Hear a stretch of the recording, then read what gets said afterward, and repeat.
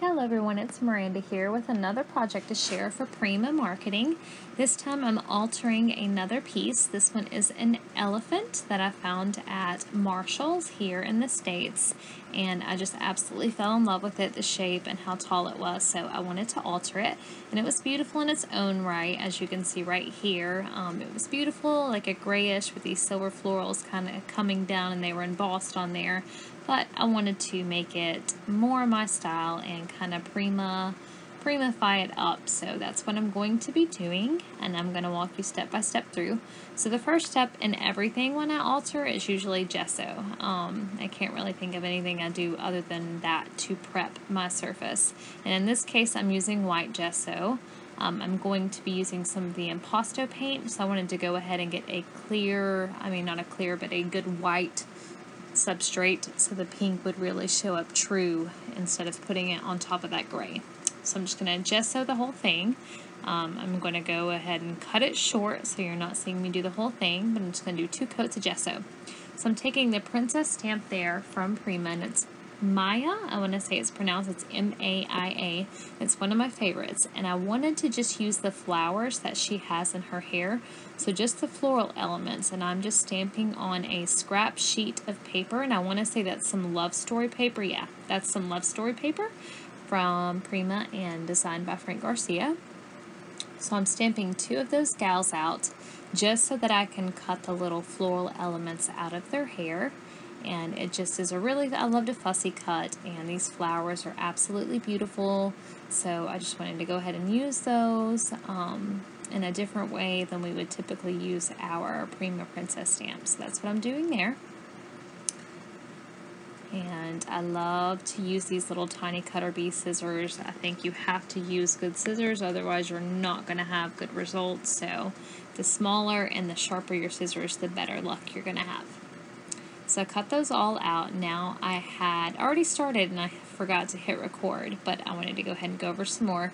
So I'm using the Raspberry Pink and Impasto paint from Finnabair and it's a, a, super thick paint so I'm using a little bit of white gesso mixed in there just to kind of tone it down because it's a pretty bright um, it's a pretty bright color the color values are very very um, you know, a little a little too much for me. So I wanted to go ahead and tone it down a little bit of the white gesso. And you can add more and more. I knew I was going to be doing drips and splattering and things like that, so I wasn't too concerned with how dark it was because I knew a lot would get covered. Um, and I'm adding a tidbit of alcohol ink, or I started to, but I decided that I did not like the way that it was really looking, so it'll it'll all kind of get covered up. So that'll be the only thing you'll see me use that's not Prima. Um, so I'm grabbing the Sparks and Mermaid Sparkle and the Frozen Berries Metallic Art Alchemy paint. And I am just going to start by spritzing those and adding some water. And I'm just going to use my paintbrush there and I'm going to let them run how they want to run and do what they want to do. And you'll have to do maybe two or three coats to get it how you like it, you know, drying in between and you'll get a really cool effect going on here. So that's what I'm going to be doing, just using the frozen berries, the Mermaid Sparkle Sparks, and then I also have some uh, more of the heavy white gesso there. So I'm just going to alternate between the three and just choose one of your paint brushes that um, have a small head. I'm using one of the Finnabair brushes and I'm just going to use all the purple up and go all the way around. You don't want to neglect any areas so try to pay attention to the whole thing, front, back, and both sides. Get your head, get the trunk. Um, I know everyone doesn't have an elephant lying around to alter, so just anything you're altering, try to pay attention to everything. So that way, no matter what view, you know, you're looking at it from, I want it to look good. So that's why I try to pay so much attention to everything. So I'm adding the Mermaid Sparks right there, and I love these because um, if you've used these and you've spritzed them with water, you'll know what I'm talking about, but they leave this like shimmery, I mean, these are the most sparkly paints you'll ever use in your life. They're just absolutely beautiful, and they leave like this clear, almost iridescence wherever you add a lot of water um, and you just kind of dab it up, it'll just kind of leave these really beautiful mica powders behind, and it's just super beautiful. This is definitely one of those projects that the photos absolutely do it no justice. It's something that you need to see in person. So um, I'm kind of bummed that the photos didn't come out the way that they should have. Um, but it's definitely one of those projects that, you know, you just have to kind of see. But I'm just going to go ahead and keep going around and adding. And I'll use my blow dryer here and there to speed up the process a little bit.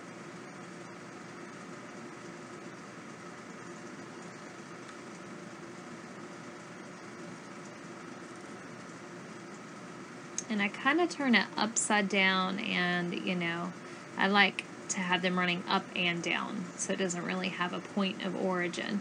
So with the white paint the white gesso I really like it to be a little more spread out because it really helped to cover up that dark pink and kind of mute that down a little bit. So I'm just really letting that white just do its own thing and it's gesso so it's going to have a little different spray pattern than the the others you know? It's going to kind of be bigger bigger sprays and um, that's that's fine with me.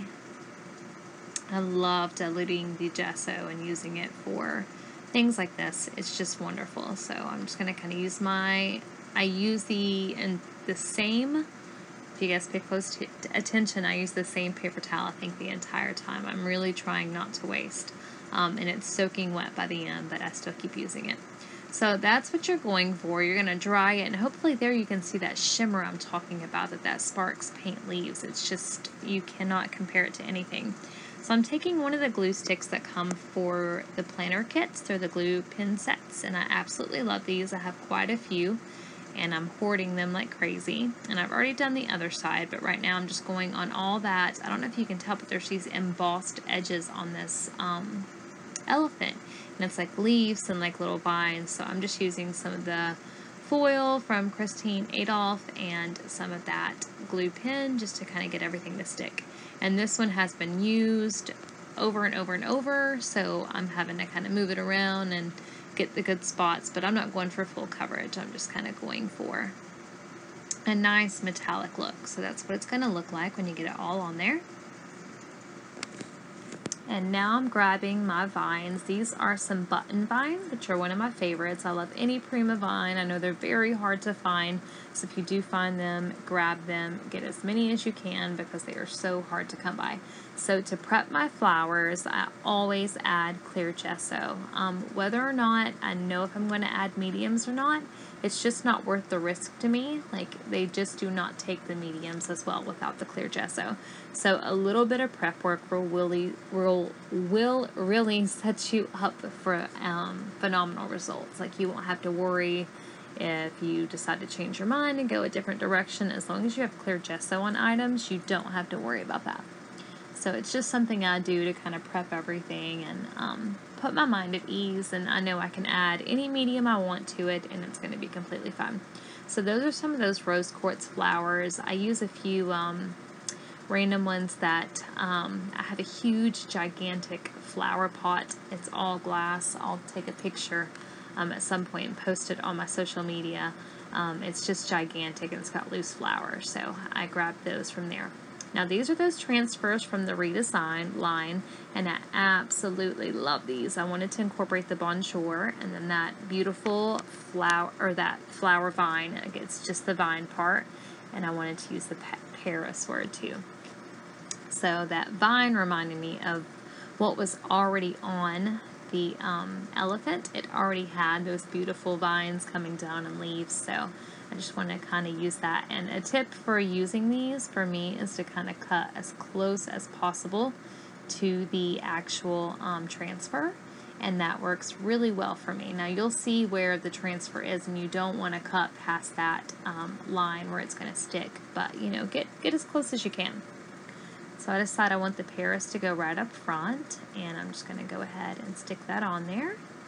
And then it has when you open each transfer they each have a little burnishing stick but you could use a bone folder or anything else you have. Um, I love the redesign line. It's absolutely incredible.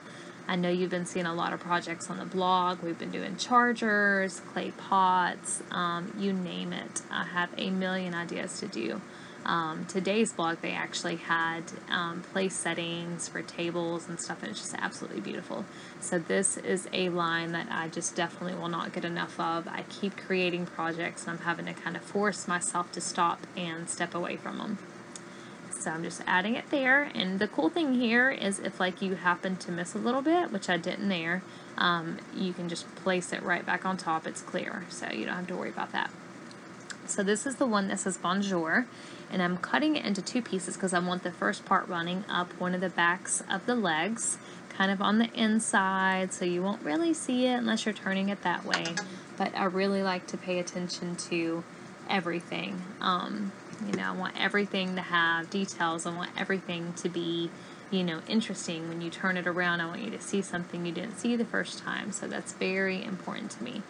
So I'm just adding that there and using that same wooden stick you get in your redesign transfers to really burnish that well using my fingernails too because there are some ridges and some grooves on this. So you want to make sure you really get that on there the way it should be. Okay. So now I'm going to add the top part there.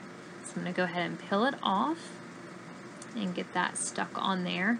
And this one was a little trickier because we're going up onto the stomach with it Okay, and now I'm just going to kind of use my fingernails here because it's kind of hard to get that wooden piece down in there. I'm just doing the best I can, and if it doesn't come out perfect, that's okay, but it actually came out really well. So now I'm going to grab those vines again, and I'm just going to kind of go where I think it will look right. Now this was a little difficult to get to transfer because this is not a flat surface. Um, I'm hoping y'all can see that this is embossed because I keep telling you that, but it's kind of hard to pick up on um, on screen. But it is embossed and it's raised, so it's really hard to get those transfers to stick into those areas. So you just kind of kind of work at it a little bit. You can get them to stick to anything. Um, in fact, I have a whole video coming out on just what all they will stick to. It's just amazing. So don't feel like if something has some grooves or some edges or ridges or curves that they won't fit. They will fit perfectly fine. And don't be afraid to cut them into pieces and use them for what you like. You know, you don't have to use it as a whole. That vine was very large, so I cut it into three pieces to suit my needs. And I'm big on doing that, on stretching your supplies and making it work for you. I think that's very important to do. Okay, and you can see there when I pulled it up, I had a little leaf that was not on there. So it was very easy to just push it right back down and then add the leaf on there. No big deal at all. Okay, so I'm going to add one piece there. And then I got one more coming up. So it's just the same routine. This side is extra ridged. This side had a lot more embossing than the other one. So that one's going to take a little bit more finagling. Um, but it came out really pretty and I like the way it looked. So make sure if you follow Prima already, you follow the Redesign Instagram page and the Redesign Facebook group because we have a new team, which I'm a part of, which is called Redesign um, Petites, and it's all about doing smaller projects because you'll see these amazing, absolutely jaw dropping projects from the Redesign team you know, altering these dressers and these huge furniture pieces. But for those of us who can't access those things or we don't have those on hand or that's just too daunting maybe to do, um, we have the redesigned petites now, which is going to, you know, kind of bridge the gap and do smaller projects. So I've got an older Finnabair stamp there, one of her background, I think it was called like a book stamp. Um, I've had it for so long, I do not know. It stays in my pile of most frequently used ones. So I'm just using some black ink that will not budge. Um, it's not stays on, but it's a, um, it's a, what's the word I'm looking for? My brain, it's very late here, y'all. I'm going to go ahead and admit that. Um, I just got off a 24 hour shift and I am staying up super late to get this done on time. So um, if my words are a little jumbled up, please forgive me. So I'm just kind of wrapping it around and not doing perfect squares, of course, just kind of tapping here and there with my stamp wherever I want it to go. And it's just a nice subtle way to get some more texture and some more interest going on. Okay, so that's what we have so far. Now we're going to start adding our floral elements, which is my favorite part. So 3D matte gel is my go-to. I love it more than the gloss. Um, and a lot of people say, well, what's the difference? One, it just dries matte, and the other one just dries a little glossy. But if you're using them as glues, you don't have to really worry about that too much, you know. Um, and one thing I typically do when I have a lot of this um, 3D matte gel or, or a gloss gel even is if when I sprinkle, when I put the glue down, I'll sprinkle like art stones or some of the glass glitter or the mulberry flakes in this case. And I don't even think I did that on camera, y'all, but there you'll see some mulberry flakes in the final um, picture, and that's because I did go in and just kind of pour it over as I was waiting on things to dry and let it lay where it wanted to lay. So I'm just using the end of my paintbrush to kind of dip it in there and I'm having it go down the opposite leg that I put the transfer on on that side. And I could not decide which the left or the right side of this was going to be my focal point. So I just kind of decorated them both and I guess whatever side that you like best, that's the side to go with. Um, I couldn't really pick a favorite side, so I wanted them both to look equally pretty. So I used two of the button vines. Those are from Fairy Tales. Um, those are some rose quartz flowers. Um, there may be even a little bit of lost and found ones in there, y'all. I mean, this is really coming straight from my, besides the button vines, the rest of the flowers are kind of coming straight from my little bin there with um, all my leftover bits and bobs of flowers that have came out of packages. And I'm trying to use those up because it is absolutely jammed full and I don't want to open any more packs unless, um, you know, I need to. So I'm adding that big one there, and it even had like some white paint on the edge of it, and it was down in there in the bucket, and I did not mind that at all. It's going to get covered up. So there are those pieces that I stamped and fussy cut out from the Prima Princess stamp. And I love the way they came out. They're absolutely beautiful, and they're so fun to just kind of tuck in and out and have some more variety of pink tones so it's not just such a dark pink color. You've got some light pinks and some creams and you know, everything's kind of going together. All these colors look great together, even the green. And in fact, this color, this palette came from the color challenge that's coming up this month, so you'll see that. Um, it's a little bit darker than some of the pink on there, but um, it's definitely inspired by the color challenge, which you will see coming up later on. So I'm just tucking those in wherever I see fit kind of where the leaves are and the flowers are. And um, I'm trying to prop my elephant up there by its trunk on a, um, I think that's one of the stone effect pastes back there. And it does keep slipping, but that's okay. Um, this is a very sturdy, it's not porcelain. I don't know what this is made out of, but it is a very strong piece, and I was very happy about that. That's one of the things I definitely, when I'm looking for items to alter, I try to see how sturdy it is. If it's super breakable, I'm definitely not going to buy it because there's just no point. I know me and I know how well I break things. So, so I'm showing you a close up there of what those flowers looked like. Now I have a few butterflies. I have a whole bucket of butterflies that I fussy cut from collections, and I can usually tell you the collection it came from. And I know that this one came from the cherry blossom collection. So I love those butterflies. They're so pretty. I definitely wanted one going up the trunk. Um, it just needed to go up there, I felt like, just to kind of define that area and give it some prettiness. So that's what we have so far, and we are almost done, y'all.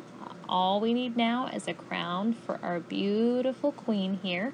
So this is a crown I had in my stash. I want to say this is one of those um, Michael's carried them for quite some time. I think they were like Arctic cakes, Arctic cakes, and I want to say that's what this was. So I'm just holding it on there until it dries. Now I'm taking these memory hardware crowns, and I'm not going to try to pronounce the name, Regalia, I want to say. So I'm cutting off the jump ring and the little attaching hoop. And what I'm going to do is I decided that was going to be the hoofs for my, or the shoes for my, um, my elephant. So I'm just adding some of the 3D matte gel all the way through and I'm going to step those all around the bottom of my feet here for my elephant. And I really like the way that looked. I felt like a, the bottom of the feet were definitely missing something. So I think that really helped kind of tie everything together. So I'm just making sure I get a good amount on there so it adheres well, but I don't want anything coming above the top of that because otherwise you would see it. So I'm going to line them up very well and then I'm just going to step the feet into them. And then this quick little video is just going to show you what it looks like with those on there because I know it was kind of hard to tell. So excuse the shakiness, but I just wanted to give you a quick overview. But the pictures, of course, will give you a little bit more, you know, a little bit better idea of what it looks like when it's all dry and all done. So I hope that you like my project. I hope that you will be inspired to try to alter something in your home today. And thank you so much for watching. I appreciate all the comments and all the support. And I hope y'all have a beautiful day. Bye.